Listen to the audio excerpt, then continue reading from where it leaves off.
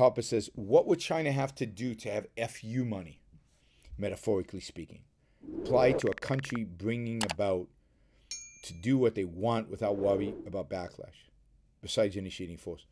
I mean, this is the catch 22, if you will. To get super rich, you have to trade. Trade makes you um, interconnected with others who you might not particularly like. Trade makes you, you know, dependent is the wrong word, but trade, you have to trade with somebody. So for China to get rich, it has to trade with the United States and Europe and Africa and South America. It can't just trade with poor countries. It can't just trade with Russia and India. It, it, there's not enough demand there for there to be enough wealth created in China. So the only way China can get a few money is by trading. But trading makes it very difficult to go to war with the people you're trading with. It makes you immediately susceptible to those people deciding not to trade with you. And this is true of the United States. This is the whole idea of, oh, we're, we're, we're delinking. We're, going to be self sufficient. Well, yeah, you can be self sufficient and poor. You cannot be self sufficient and rich. And that's what people don't understand. So if you want to be rich, you got to be willing to trade.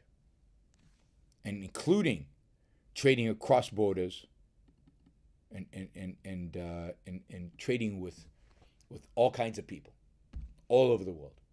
And that that integration is what I think preserves peace, or part of what preserves peace. Ayn Rand talks about this in The Roots of War. And uh, if you think about Russia, one of the reasons Russia is poor, and one of the reasons Russia is um, violent, is willing to engage in initiation of force, is willing to engage in war, is because it's not a trading nation. Yes, it sells oil and gas, but it doesn't produce stuff. It doesn't innovate. And it doesn't, it's not dependent on these external markets, it's dependent on natural resources. And it's a completely different mentality. And it stays poor because you cannot become rich off of natural resources. No country ever has. So it's really interesting that if you if the Chinese ambition is to get rich and not have poverty in China and all that, it has to stay open. It has to commit itself to trade. It doesn't even with 1.2 billion people as a population, even though that's going to start shrinking. You cannot be successful unless you trade with other people. You cannot be successful unless you're innovative. Innovation and trade open up societies. They're, forces against authoritarianism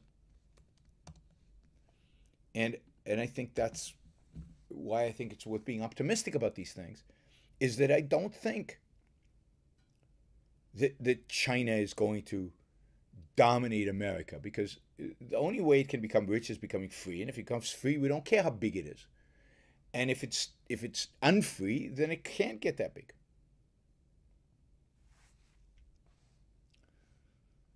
Um, so I don't know how much it would have to have to have FU money.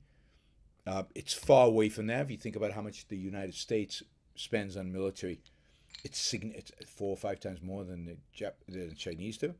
We have a significantly better uh, army, uh, military. We have better technology. We have better innovation.